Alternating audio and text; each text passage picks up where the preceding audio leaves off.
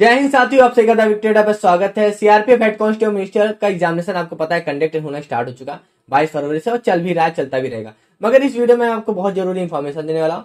और वीडियो में आप बने रहना, मैं बताऊँगा, बहुत इंपॉर्टेंट आपके लिए। वीडियो अच्छी लगी वीडियो को लाइक करके चैनल को सब्सक्राइब करके बेल आइकन को प्रेस करते हैं। और ऐसे ही फ्यूचर में अगर आप चाहते हैं वीडियो तो ऑल पे बटन पे भी क्लिक करते हैं। चलते वीडियो को स्टार्ट करते हैं। जैसा कि मैं आपको बता दूँ सीआरपीएफ का आपने एडमिट कार्ड डाउनलोड कर लिया होगा। जिसने भी एडमिट कार्ड डाउनलोड कर लिया है और जिसने भी पेपर दे लिया है यानी कि 22 फरवरी वाले 23 फरवरी या 24 फरवरी। उनके लिए तो ये थोड़ा सा लेट इन्फॉर्मेशन हो गई। मगर जो इसके बाद के हैं, यानी कि 25 वाले 26 वाले 27 वाले 28 वाले और 11 मार्च वाले 1 मार्च वाले, जो भी हैं, उनके लिए इन्फॉर्मेशन बहुत ज़रूरी है। क्योंकि आपके एडमिट कार्ड को वेबसाइट से हटा दिया जा रहा है। जैसे ही आप एग्जामिनेशन दे लोगे, आपके एडमिट कार्ड को वहाँ से हटा दिया जा रहा है। तो आपको करना क्या है? अपने एडमिट कार्ड को सुरक्षित रखना है। ताकि आप फ्यूचर रेफरेंस में उसको यूज़ कर सको। जब आप एग्जामिनेशन सेंटर में भी गए होंगे तो वो भी आपसे कहेंगे कि इस कॉल लेटर को सेफ़ रखना, क्योंकि ये कॉल लेटर आपकी सिलेक्शन में कहीं ना कहीं आगे यूज़ किया जाएगा।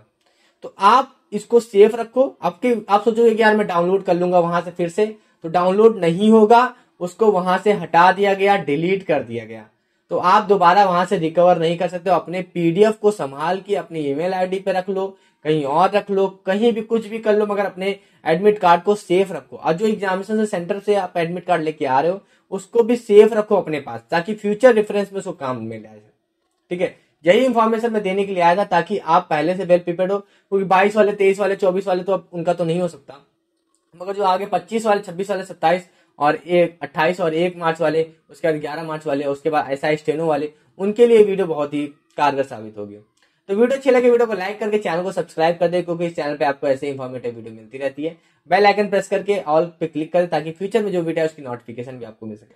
तो अभी के लिए मिलता है नेक्स्ट वीडियो में। Thank you so much